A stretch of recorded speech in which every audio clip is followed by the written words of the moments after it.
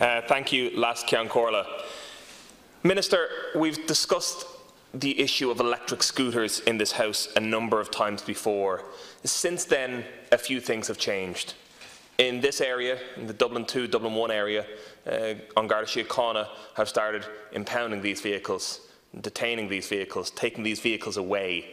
Um, in recent times, the RSA, the Road Safety Authority, have felt the need to update their website in relation to these vehicles, to update their advice. Uh, the website was not clear. Perhaps this reflects the lack of clarity in the law. Um, one year ago, I raised this issue uh, in a parliamentary question as a member of the Oireachtas Transport Committee with you. I forewarned of this issue.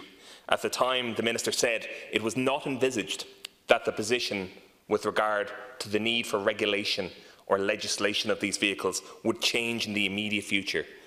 Does the Minister now accept that this position has changed, that there is a need to clarify in law and in regulation the issue of these vehicles? In the last hour, I note that the Fianna Fáil party have belatedly agreed with this position and are launching a piece of legislation on the plinth at 2.30 tomorrow. And this is to be welcomed. Further focus on this issue is to be welcomed. I wish we had been foresighted in relation to the problems that have so predictably arisen in relation to this new technology, but we must now nevertheless legislate for it in hindsight, so Fianna Fáil's move in that instance is welcome. Last week, I met with a number of institutions and a number of companies who are interested in this area, many of whom are setting up in this country, many of whom are starting in this country. I met with a number of companies on the DCU Alpha campus in Glasnevin, world leaders in creating the technology uh, in this space. Very impressive stuff. Ireland could become a leader in this space, Minister. But in order to become a leader in this space, we need to have the foresight to allow this space to grow and this space to develop. Indeed, in the absence of law, Minister, there are now far in excess of 2,000 users of these vehicles in the city. And lest we forget, Minister, these vehicles are used in many European cities. These vehicles are many of the things this government espouses, many of the things this government aspires to be, many of the things your department aspires to be. They're green, they're environmental, they reduce congestion, they increase the onus on cycle lane investment, they are used in many European cities and they are effective in many European cities. I'm at a loss uh, as to why the department has been stonewalling this issue for so long. I'm at a loss as to why it has been handed to the Road Safety Authority one full year after I first raised this in the House. And I'm at a loss as to why we weren't proactive and instead were reactive in relation to this issue. In my most recent of many parliamentary questions to the Minister, he cited a number of international experiences that were negative. Uh, many of these international experiences aren't correct. Uh, many of them are erroneous, what was put to me on the record in the parliamentary question. Uh, there are many positive international experiences, many learnings uh, that, can be, that, can be, that can be brought to bear in relation to the first wave of these vehicles, which took place some years ago. We can now do things with technology that we couldn't do three or four years ago in order to safeguard uh, pedestrians, uh, safeguard other road users, and allow for the effective, safe usage of these vehicles. So I was surprised and alarmed by the Conservative approach being taken in the most recent parliamentary question answer. I'd welcome uh, the Minister to clarify his remarks, and I'd welcome some clarity in relation to the overall issue. Uh, is the Road Safety Authority report available? Uh, do we know when it will be available? Uh, and what is the Minister's position on this issue? Minister, four minutes. Um, thank you very much, uh, Ceann Comhairle, and I'd like to thank uh, Deputy Rock for raising this issue again. Um, the issue of electric scooters and for providing us with the opportunity to discuss these here. I am, of course, aware of the increasing number of e-scooters, electrically powered skateboards and similar small vehicles, both on our footpaths and on our roads. I will start by advising you of the current legal situation in relation to such vehicles, and it's very important that we get such clarity on this before we go any further or make any statements about it.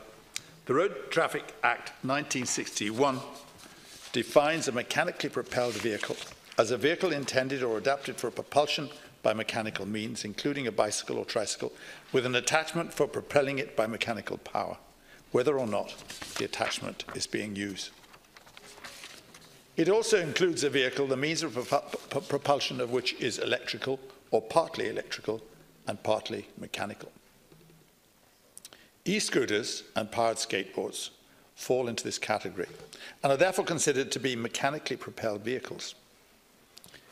Any users of such vehicles in a public place, as defined in the Road Traffic Act 1961, must have insurance, road tax and a driving licence with penalties under road traffic laws, including fixed charge notices, penalty points, fines and possible seizure of the vehicle for not being in compliance with these requirements. As it's currently not possible to tax or insure e-scooters or electric skateboards, they're not considered suitable for use in a public place.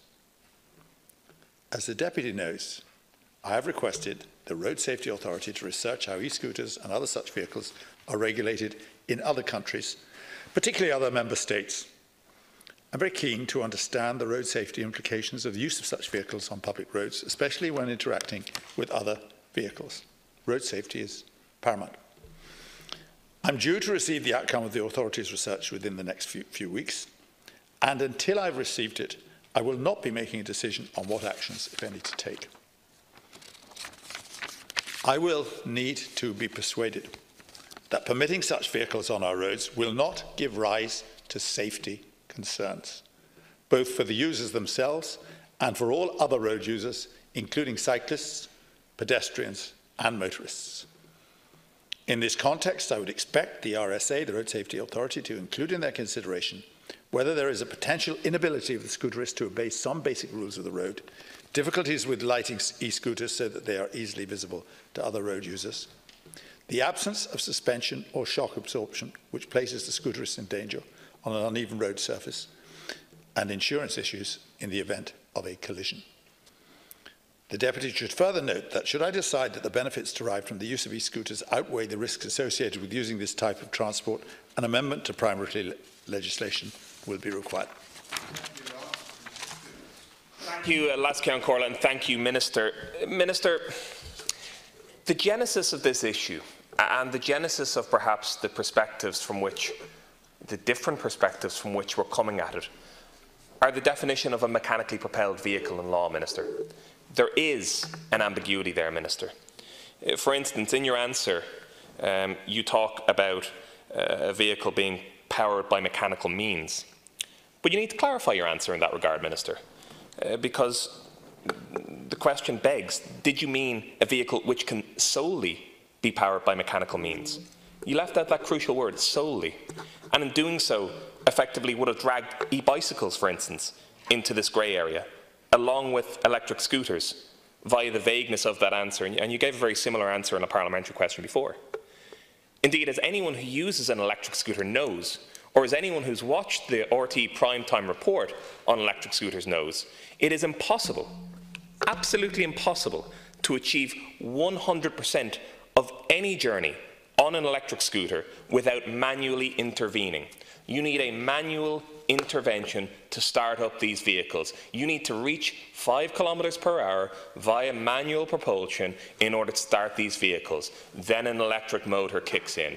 Then you continue your journey from there. Therefore, not 100% of the journey is mechanically propelled. Accordingly, it is commensurate under the current law with electric bicycles. There is no threshold for which a mechanically propelled vehicle can be defined in law currently. This is the vagueness of the law. This is what needs urgent clarification. This incomplete understanding of the various state agencies is exactly why there is this ambiguity here right now. And that's precisely what will end up being challenged in court, and that is precisely what needs to be clarified in law urgently. Thank you, Minister. Minister, two minutes to conclude. Yeah, I, The Deputy is asking me to take a position on this before the RSA reports. I'm not going to do that, Deputy. It would be absurd to do so, to have people who have made a detailed study of what happens here and what's happening abroad, and for me to, for me to make a decision in advance of that. I, have, I may have a disposition, but I have an agency who is with some authority and with some interest in safety, which I notice is fairly uh, absent from your representations here. Safety is paramount. I said that. It is the most important thing for, that, that the passengers, uh, that, that, that the travellers should be safe, that people in other vehicles should be safe, and that is the most important element of these particular e-scooters which you're seeking to have introduced. It is very important to me that if they're introduced, that the Road Safety Authority gives a judgment on whether these are safe for people who are affected by them. And I'm not just talking about those who are on them. That is very important. And Deputy, it's very important also that you don't make statements without backing them up. You say that there were events which have been quoted uh, of incidents overseas which didn't happen. You said they were erroneous. Let's get the detail on that. I've quoted facts and figures about what, what's happened in other European cities to you. Uh, they're well known, and those details, as far as I know, are open to correction but haven't been corrected. If, if they should be corrected, let's, let's have them corrected. Also, Deputy, you say, without any basis whatsoever, you say they will, to, to, to allow them will reduce congestion. The evidence is, as far as I know, the opposite of that. That those who are, who are, who are proposing to use and are using these particular e-scooters are actually, are actually coming out of, are coming, are, are swapping out of, out of buses, buses and other means of public transport. They're probably and possibly taking up space. So let's not have some sort of unbacked up, unsupported evidence coming here. My position is open. I'm prepared to take authoritative advice, not populist advice from you, Deputy. Thank you.